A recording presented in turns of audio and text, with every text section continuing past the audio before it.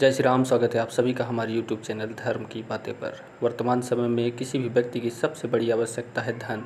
अगर धन के साथ साथ सुख भी हो तो उसका क्या कहना? और उसके साथ साथ भगवान श्री राम की कृपा हो तो उसका क्या कहना?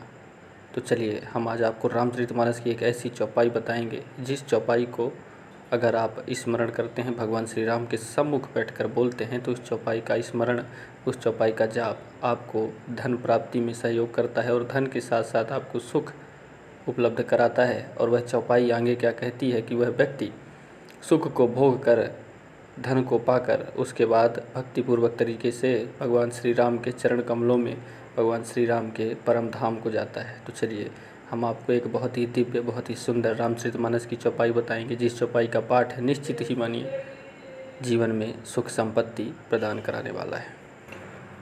रामचरित मानस की इसी तरह के वीडियोस के लिए आप हमारे चैनल को सब्सक्राइब ज़रूर कर लीजिएगा और कमेंट में जय श्री राम ज़रूर लिखिएगा। रामचरित मानस की वह चौपाई जो आपको सुख संपत्ति दिलाएगी, वह चौपाई है, जे सकाम नर सुन ही जगा वहीं सुख संपत्ति नाना विधि पावही सुर दुर्लभ सुख कर जग माही, अंत काल रघुपति पुर जाही। जो मनुष्य सकाम भाव से सुनते और गाते हैं, वे अनेकों प्रकार की सुख और संपत्ति पाते हैं।